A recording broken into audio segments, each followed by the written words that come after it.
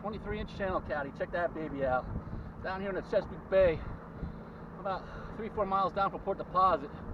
Nice 23 inch channel caddy. I'm gonna release it.